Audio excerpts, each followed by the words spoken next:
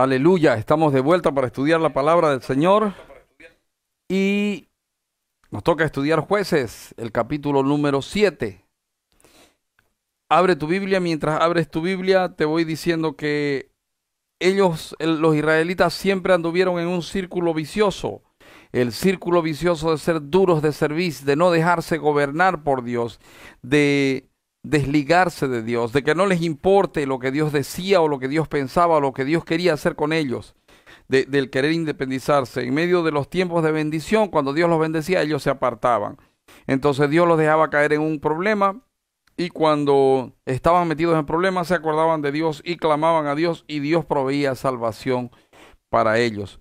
Eh, esta, esta actitud es buena, eh, eh, mejor dicho, esta actitud muestra la bondad de Dios, muestra el, amor de Dios, la gracia y la misericordia, pero puede ser eh, dañina para el corazón perverso.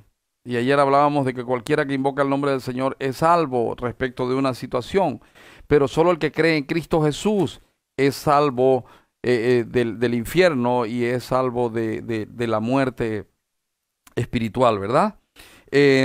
bueno, pero vimos que eh, Israel una vez más había, había, había participado de este círculo del, pernicioso y no obstante Dios ha oído el clamor de ellos y está dispuesto a salvarlos una vez, una vez más. Eh, oremos, Padre, en el nombre del Señor Jesucristo, este tiempo sea para gloria tuya, este tiempo sea para edificación nuestra, este tiempo sea en ti, mm, Señor, que nuestra vida esté marcada por tu presencia y que tu presencia en nosotros no sea nada más de boca, sino de corazón. Ayúdanos, transfórmanos, mientras estudiamos tu palabra, cambia nuestro corazón. Te lo pido en el nombre precioso del Señor Jesucristo. Amén y amén. Amados, aunque Israel fallaba, la fuente de la verdadera victoria de Israel era Dios, era Jehová. Y eso es lo que vamos a ver esta mañana. Dios es la verdadera fuente de victoria. ¿Y cómo reconocer cuando la victoria es verdadera? Vamos a mirarlo en esta porción de la palabra. Yo había escuchado muchas veces predicar sermones acerca de Gedeón. Y todos, todos usan a Gedeón a, a manera de, de levantar la autoestima, ¿verdad? Y es bueno, es bueno, eh, pero también es bueno entender esto que vamos a ver esta mañana. Y si ya habías escuchado muchos sermones respecto de Gedeón, el anhelo de mi corazón es que en esta porción de la palabra eh, tengas la actitud correcta delante del Dios Todopoderoso. Que a través de esta palabra, de, este estudio, tu corazón entienda la verdad de tu relacionamiento con Dios, de nuestro relacionamiento con Dios. Vamos a leer la palabra. Dice así. Eh, perdóname un segundito. Ups, ya. Dice así. Levantándose pues de mañana Jerobaal, el cual es Gedeón, y todo el pueblo que estaba con él, acamparon junto a la fuente de Arod, y tenía el campamento de los madianitas al norte, más allá del collado de Moré, en el valle. Y Jehová dijo a Gedeón, el pueblo que está contigo es mucho para que yo entregue a los madianitas en su mano, no sea que se alabe Israel contra mí diciendo, mi mano me ha salvado. Ahora pues, haz pregonar en oídos del pueblo, diciendo, quien tema y se estremezca, madrugue y devuélvase desde el monte de Galaad, y se devolvieron de los del pueblo veintidós mil y quedaron diez mil. Y Jehová dijo a Gedeón, aún es mucho el pueblo, llévalos a las aguas y allí te, probar, te los probaré. Y del que yo diga, vaya este contigo, irá contigo. Más de cualquiera que yo te diga, este no vaya contigo, el tal, no irá. Entonces llevó el pueblo a las aguas y Jehová dijo a Gedeón, cualquiera que lamiere las aguas con su lengua, como lame el perro, aquel pondrás aparte. Asimismo, a cualquiera que se doblare sobre sus rodillas para beber. Y fue el número de los que lamieron llevando el agua con la mano a su boca, trescientos hombres. Y todo el resto del pueblo se dobló sobre sus rodillas para beber agua. Entonces Jehová dijo a Gedeón, con estos trescientos hombres que lamieron el agua, os salvaré y entregaré a los madianitas en tus manos, y váyase toda la demás gente, cada uno a su lugar. Y habiendo tomado provisiones para el pueblo y sus trompetas, envió a todos los israelitas cada uno a su tienda, y retuvo a aquellos trescientos hombres, y tenía el campamento de, Madián abajo en el valle. Bien, mis amados, fíjese lo glorioso de esto.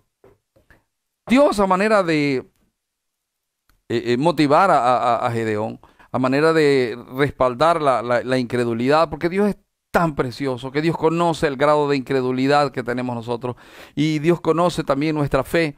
Gedeón era un hombre que creía en Dios, sí, probablemente como, una, como un grano de mostaza, pero tenía muchas cosas todavía que resolver él, en eh, él consigo mismo para que Dios pueda utilizarlo.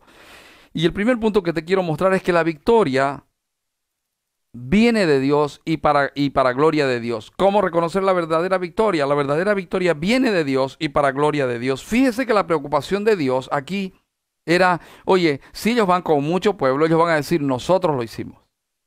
Ahora, ¿por qué Dios quiere toda la gloria para Él? Porque cuando nosotros le damos toda la gloria a Él, nos hacemos dependientes de Él. Y lo mejor que le puede pasar a un hombre es ser dependiente de Dios. Lo pongo aquí. Dios les daría la victoria, pero era necesario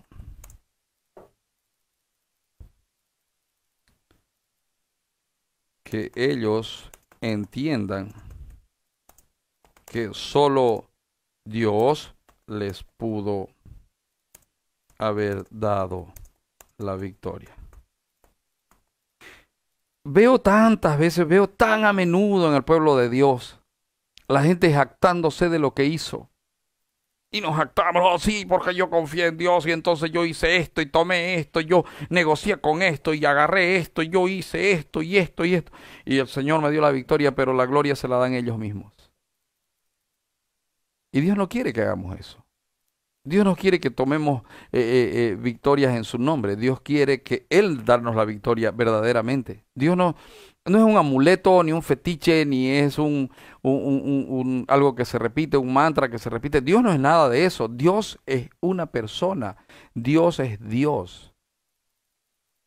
Dios es una unidad de Padre, Hijo y Espíritu Santo. Entonces, eh, cuando, cuando Dios da la victoria, la, la, victoria, la gloria de esa victoria es para Dios. Cuando verdaderamente la victoria proviene de Dios, el corazón del hombre que ama a Dios, que teme a Dios, que reconoce a Dios, le dará la gloria a Dios. Aquí él dijo, oye, es peligroso que esto, como el pueblo es mucho, van a minimizar lo que estoy haciendo por ellos y, y se van a hacer otra vez independientes, otra vez van van a prescindir de mí me van a ignorar, solo van a querer tomar mis bendiciones, solo van a querer que yo les dé bendiciones, pero no van a querer que me meta con ellos. Entonces, le, pone esta prueba a, a, Gedeón y le dice, vas, a hacer esto, vas a llevarlos a tomar agua y el que, el que se incline, se ponga de rodillas y tome agua como perro, ese se queda. Y el que alce, su, eh, alce agua con la mano y tome, ese va a ir.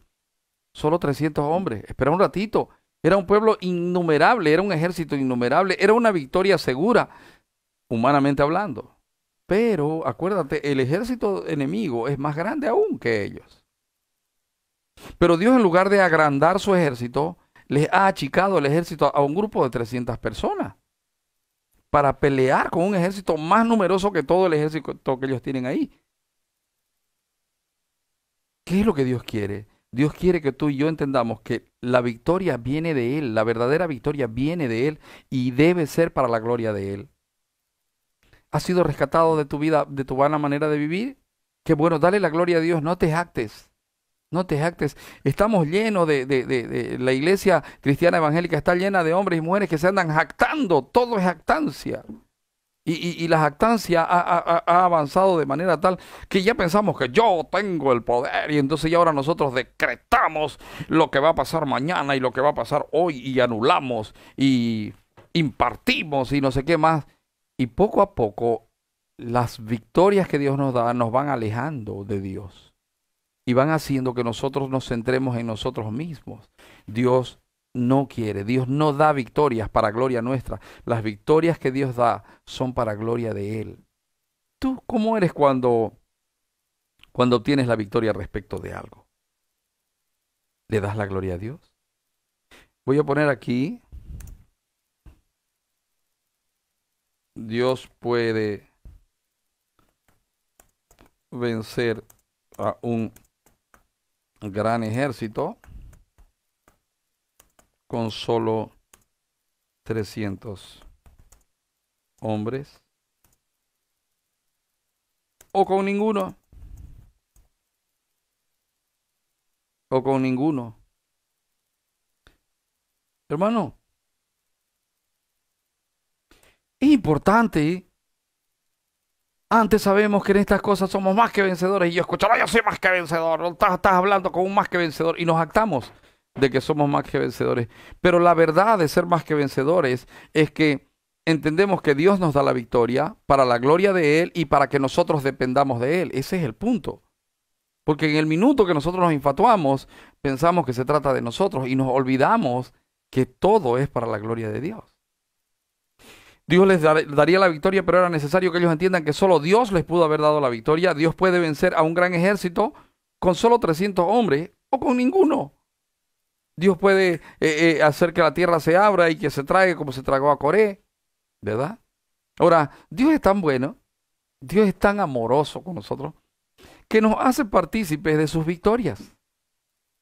Nos hace eh, coprotagonistas de, de sus victorias. Y eso es lo que estaba pasando aquí. Ahora, ¿cómo reconozco la verdadera victoria en mi vida? Ah, cuando esa victoria sé que vino de Dios y, y, la utilizo para glorificar a Dios. Cuando esa victoria no la utilizo para jactarme yo.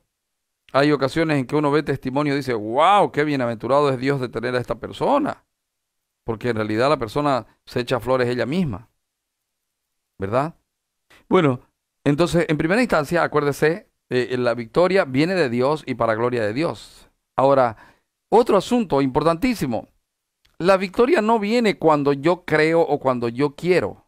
La victoria viene en el tiempo de Dios. Y eso es lo que quiero que mire en el versículo 9. Eh, Dice, aconteció que aquella noche Jehová le dijo, levántate y desciende al campamento porque yo lo he entregado en tus manos. Ellos estaban haciendo lo más razonable posible. Es de noche, hay que dormir, es necesario descansar. Pero Dios viene y le habla en la noche a Gedeón y le dice, levántate y desciende al campamento porque yo lo he entregado en tus manos. Y si tienes temor de descender, baja tú con fura tu criado al campamento y oirás lo que hablan y entonces tus manos se esforzarán y descenderás al campamento. Y él descendió con fura a su criado hasta los puestos avanzados de la gente armada que estaba en el campamento. Hermano, eh, tu percepción no es la misma que Dios. Me gusta mucho cuando Él dice, tus pensamientos no son mis pensamientos, ni tus caminos son mis caminos. Y hay ocasiones en que tú dices, este es el día de la victoria. Mira, somos aquí 200 y allá 5. Oh, los vamos a comer como a pan. Pero en realidad, Dios fortalece a los 5 y los 200 terminan destruidos. Eh, tampoco es cuando...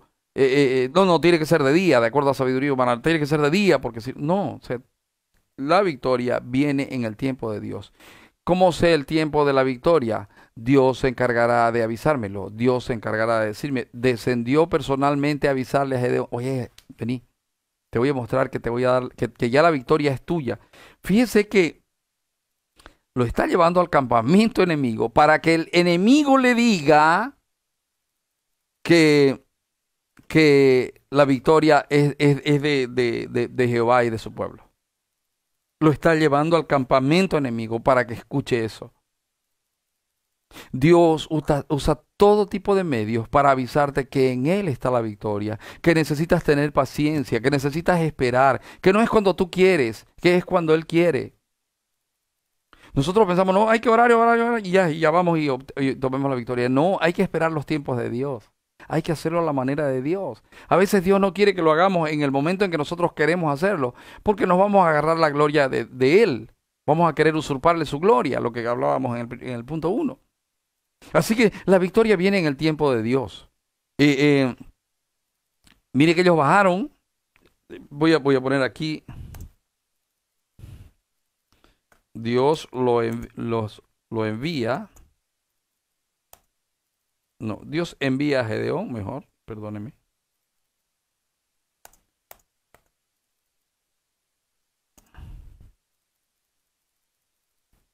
A oír la proclamación de victoria por boca de los enemigos. Dice, y oirás lo que hablan, y entonces tus manos se esforzarán y descenderás al campamento. Y él descendió con furia a su criado hasta los puestos avanzados de la gente armada que estaba en el campamento. Y los madianitas, los amalecitas y los hijos del oriente estaban tendidos en el valle como langostas en multitud, y sus camellos eran innumerables como la arena que está a la ribera del mar en multitud. Era grandísimo, un ejército grandísimo. Pero dice, cuando llegó, llegó Gedeón, he aquí que un hombre estaba contando a su compañero un sueño, diciendo, he aquí yo soñé un sueño. Veía un pan de cebada que rodaba hasta el campamento de Madián, y llegó a la tienda y la golpeó de tal manera que cayó, y la trastornó de arriba abajo, y la tienda cayó. Y su compañero respondió y dijo, esto no es otra cosa sino la espada de Gedeón, hijo de Joás, varón de Israel. Dios ha entregado en sus manos a los madianitas con todo el campamento. Qué bueno que es Dios, qué maravilloso que es Dios, que fortalece nuestra vida en medio de las dificultades, en medio de las pruebas y nos avisa que tenemos la victoria segura en Él, en Él. Hermano, no, no se abata, no llore, no sufra. Espere el tiempo de Dios, viene el tiempo de Dios, la victoria es en el tiempo de Dios, no es en su tiempo ni en el mío. Quizás usted dice, pero pastor, llevo cinco meses encerrado. Yo también, mi amado. Pero qué ganas de salirme de una vez. ¿Acaso Dios no está conmigo? Voy a salirme. No, espere el tiempo de Dios. Dios le dará paz en su corazón en el momento en que usted tenga que comenzar a salir. Sé que hay más de uno de los de la superfe que dice, ¿por qué no nos reunimos? De una vez hay que reunirse la iglesia. Total, Dios está con nosotros. Nos espera un ratito. Pero un ratito. Las cosas se hacen como Dios manda, en los tiempos de Dios y bajo la dirección de Dios. Aprendete estas palabras, como, según y conforme. Como Dios manda, según los tiempos de Dios y conforme a la dirección de Dios. Ese es el modo de hacer las cosas. En el versículo 15 dice, cuando Gedeón oyó el relato del sueño y su interpretación, adoró. Ay, mis amados, eso es lo que hay que hacer. Eso es lo que tú debemos, tú y yo debemos hacer. Debemos vivir expectantes, sabiendo que la victoria viene y, y gozándonos por la victoria que viene.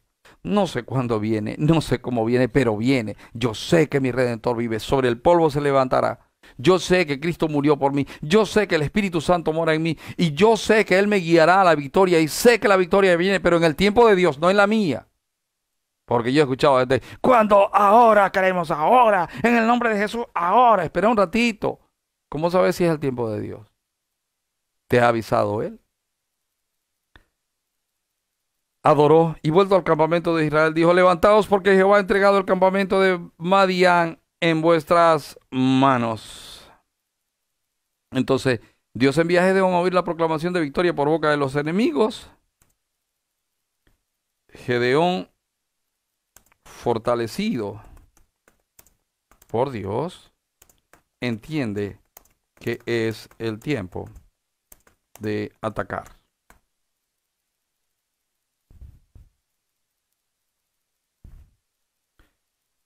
Y luego dice, Pero hay un asunto, ¿no? Acuérdense que ahora allá están tendidos como langosta. Sin embargo, acá, acá Gedeón solo tiene 300 tipos, los, 300 soldados. Los ha mandado a los demás a su casa, los ha, mandado a volverse. Mire, mire, mire cómo comenzó la historia.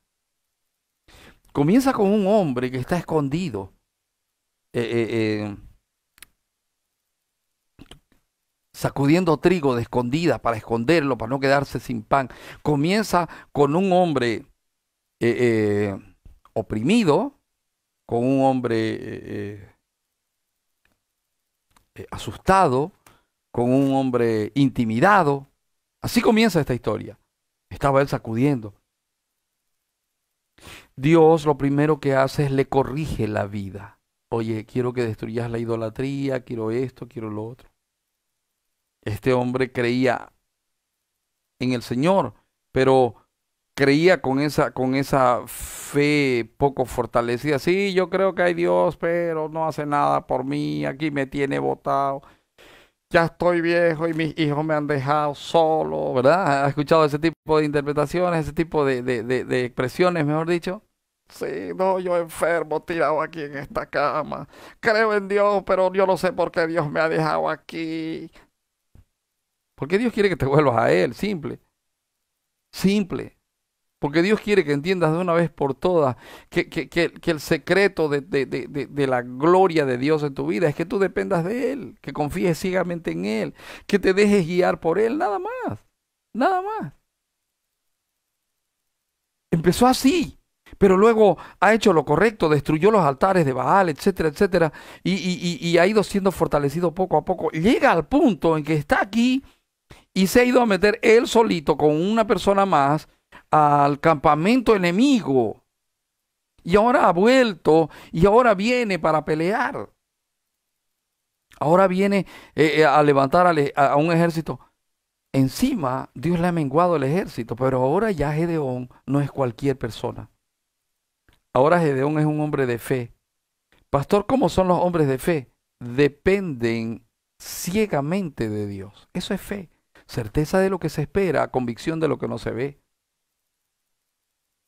Dios no trabaja por medio de la lógica y del razonamiento humano. Dios no trabaja por medio de las matemáticas humanas. Dios trabaja a su manera. Tus pensamientos no son los pensamientos de Dios, ni tus caminos son los caminos de Dios. Por tanto, lo que Dios quiere es que tú aprendas a depender de Él, a oírlo a Él, a obedecerlo a Él. De eso se trata. Tu vida y la mía, el éxito en tu vida y la mía, es eso. Pero ahora vuelve y, tiene, tiene la actitud correcta.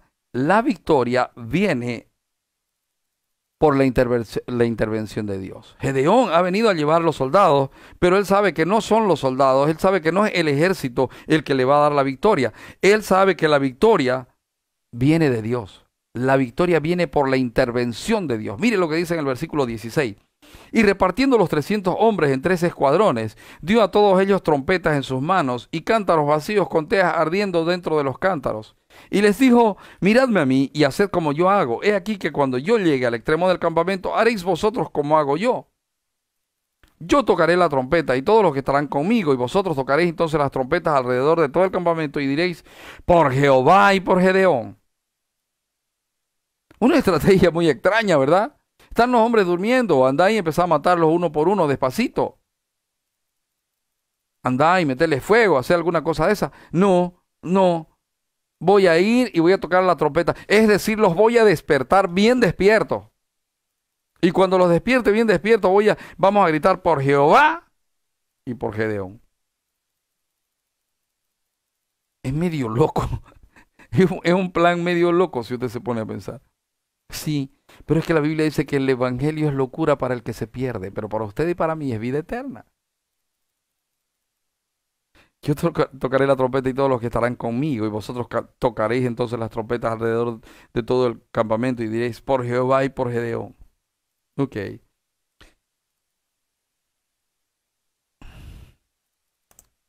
Gedeón mandó proclamar la victoria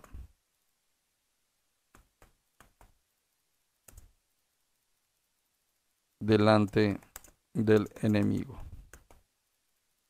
Pero además de esto, si el diablo viene a atemorizarte, a asustarte, a, a, a, estresarte, proclama victoria delante de él. Pero no proclames una victoria, eh, eh, ¿cómo se llama? Una victoria alocada. Porque hay mucha gente que dice, no, no, yo tengo fe, yo en el nombre de Jesús amarro y esto. Pero sus vidas son un desastre.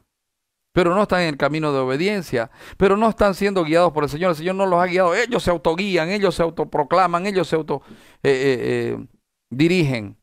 y teóricamente lo hacen en el nombre del Señor. Y son engañados por Satanás. Gedeón mandó proclamar victoria delante del enemigo, pero la victoria que está proclamando Gedeón efectivamente es la verdadera victoria, porque la verdadera victoria viene por intervención del Señor.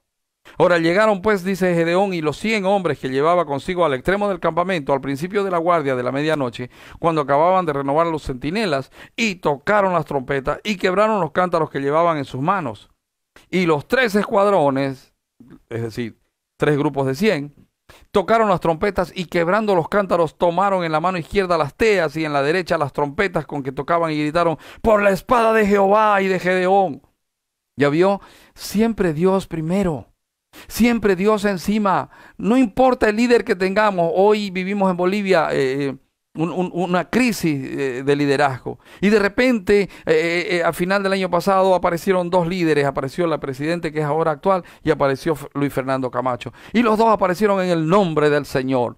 Y los dos hablaron del Señor y todos eran gracias a Dios y Dios nos dará la victoria y vamos a llevar la Biblia, etcétera, etcétera. Pero mis amados, ¿está Dios ahí? Es la gran pregunta. ¿Está Dios ahí? Usted y yo no debemos orar para que eh, eh, Yanine tenga la, la, victoria o para que Luis Fernando Camacho tenga la victoria. Nosotros tenemos que orar para que venga a Bolivia la victoria de Jehová. Por ahí no es ninguno de los dos, no lo sabemos. Usted y yo tenemos que orar para que Dios dé la victoria a este país. Para que Dios dé la victoria. Entonces, Gedeón mandó proclamar victoria delante del enemigo. Y los tres escuadrones tocaron las trompetas y quebrando los cántaros tomaron y gritaron por la espada de Jehová y de Gedeón. Y se estuvieron firmes cada uno en su puesto alrededor del campamento. Entonces todo el ejército echó a correr dando gritos y huyendo. Ese huir no era por un ejercitucho, perdónenme que lo diga así, de 300 personas. Esa huida era por el temor que tenían a Jehová. Voy a poner aquí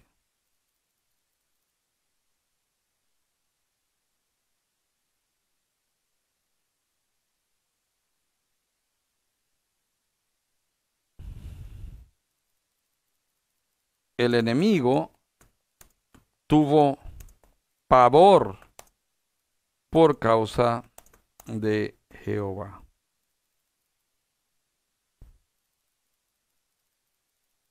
El enemigo tuvo pavor, mis amados.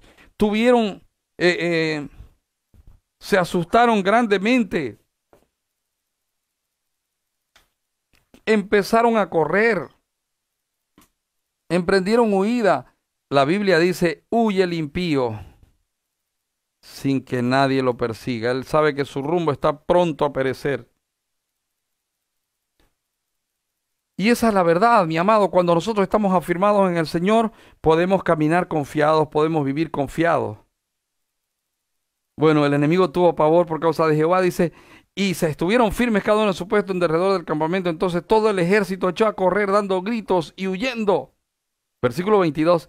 Y los trescientos tocaban las trompetas, y Jehová puso la espada de cada uno contra su compañero en todo el campamento, y el ejército huyó hasta Betzita en dirección de Cerera y hasta la frontera de Abel Meola en Tabat.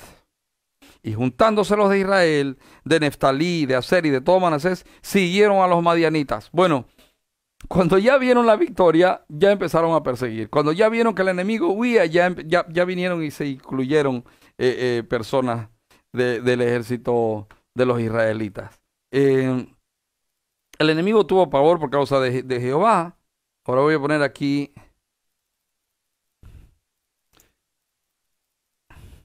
Dios mismo hizo que se ataquen a ellos mismos. Se atacaron entre ellos. No hubo razón para que peleen. Los 300 solamente proclamaron la victoria y esperaron en lo que Dios hizo. Y juntándose los de Israel, de Neftalí y todo Manasés siguieron los madianitas. Versículo 24. Gedeón también envió mensajeros por todo el monte de Efraín diciendo, descended al encuentro de los madianitas y tomad los vados de Bet-Bara y del Jordán antes que ellos lleguen. Y juntos todos los hombres de Efraín tomaron los vados de Bet-Bara y del Jordán y tomaron a dos príncipes de los madianitas, Oreb y Seb, y mataron a Oreb en la peña de Oreb, y a Seb lo mataron en el lagar de Seb. Y después que siguieron a los madianitas, trajeron las cabezas de Oreb y de Seb a Gedeón al otro lado del Jordán. Mi amado, tres cosas hemos visto esta, en, esta porción de la palabra. En primera instancia, métase porque métaselo esto en la cabeza y, y hágalo una verdad para usted y su fe sea fortalecida. Hermano, deje de estar pensando en cómo solucionar el problema. Encomiende el problema a Dios. Dígale, Señor, ya he tratado de hacerlo a mi manera, pero no lo he conseguido. Quizá usted ya ha perdido credibilidad. Si el problema es laboral, a lo mejor usted ha perdido credibilidad. Si el problema es familiar, a lo mejor usted ha perdido credibilidad en su familia. De repente su marido ya no le cree, o su esposa ya no le cree, o su hijo no le cree. De repente usted ha terminado recluido, escondido, sacudiendo el trigo de escondidas para que Satanás no, no, no, no tome victoria sobre su vida. Pero, pero hoy, de parte del Señor, entienda esta verdad. Solo en Él hay victoria.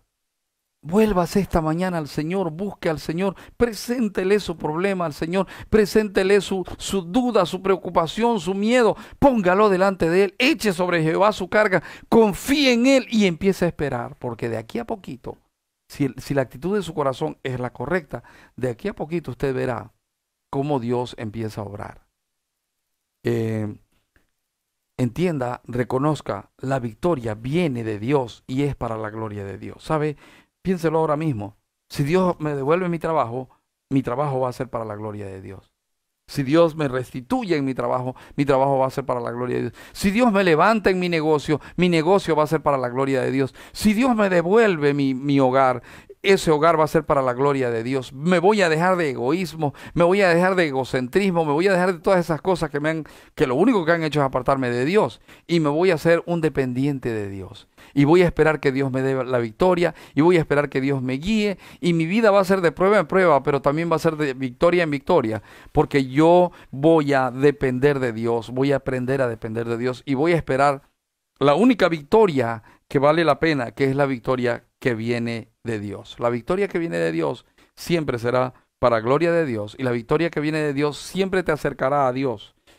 Y segunda cosa que vimos que viene en el tiempo de Dios. Hermanos, si hay algo que caracteriza a los hombres de fe es que aprendemos paciencia, aprendemos a esperar y aprendemos a confiar.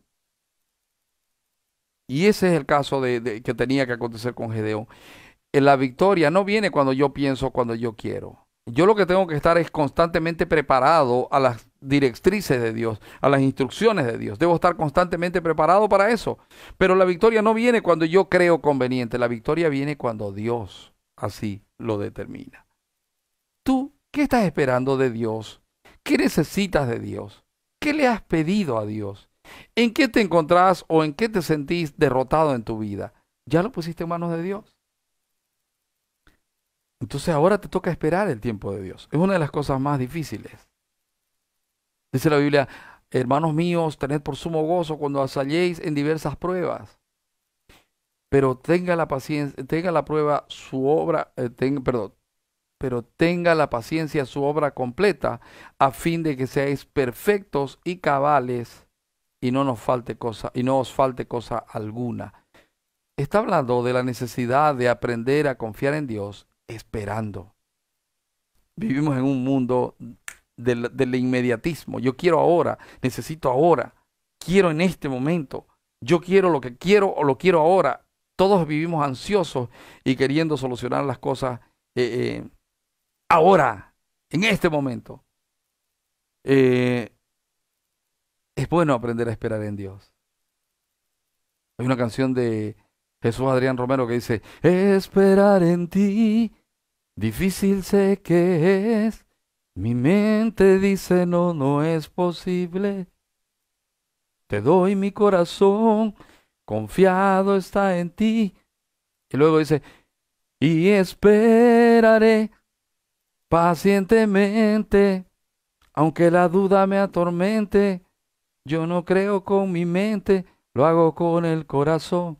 Hermano amado, cuando tú vienes a la palabra y confías en el Dios de la palabra, debes saber que la victoria viene en el tiempo de Dios. No te apresures.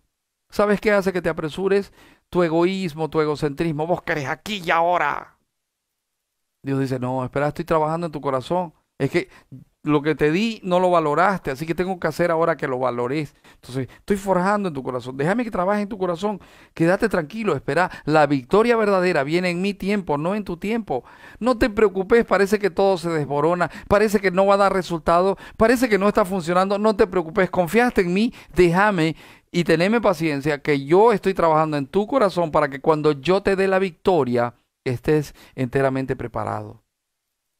Para que, cuando yo te dé aquello que me has pedido, no, no, no, no lo malverses apartándote de mí. Por el contrario, que aprendas a, depender de mí para cuidar aquello que te voy a dar como victoria.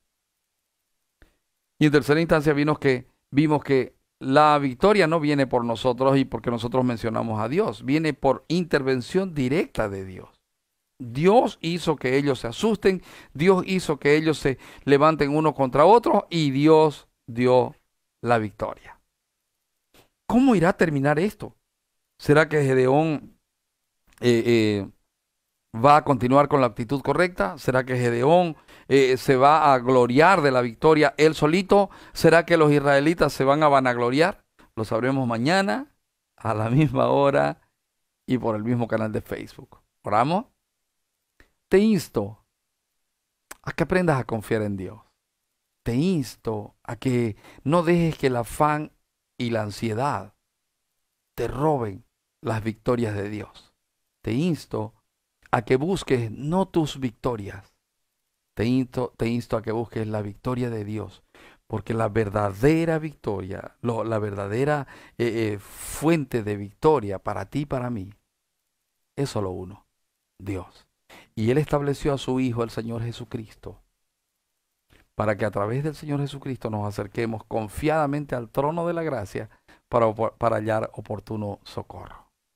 Es mi oración que el Señor tome tu vida esta mañana, tome tus pensamientos y te acalme y te aquiete y que en medio de, tu aflicción, en medio de tu desesperación, en medio de tu, de tu eh, eh, pesimismo, puedas tener paz en la tormenta, fe y esperanza cuando no puedas seguir y aun con tu mundo hecho pedazos, el Señor guiará tus pasos, el Señor no tú, el Señor. La victoria no proviene de ti, la victoria proviene de Dios. Y Él va a guiar tus pasos en paz en medio de toda situación. Hermano amado, entrégale tu problema al Señor, entrega tu corazón y ejercita tus pensamientos y espera pacientemente. El Señor tiene tu victoria. ¿Oramos? Señor, gracias por esta mañana. Gracias por poder estudiar, escudriñar tu palabra. Y Señor, en medio de estos tiempos, que aparentan ser tan difíciles, podamos ver el poder de tu mano, el poder de tu victoria, Señor. Y Padre, entendamos que la verdadera victoria, la que prevalece, es la que viene de ti. En el nombre del Señor Jesucristo. Amén y amén.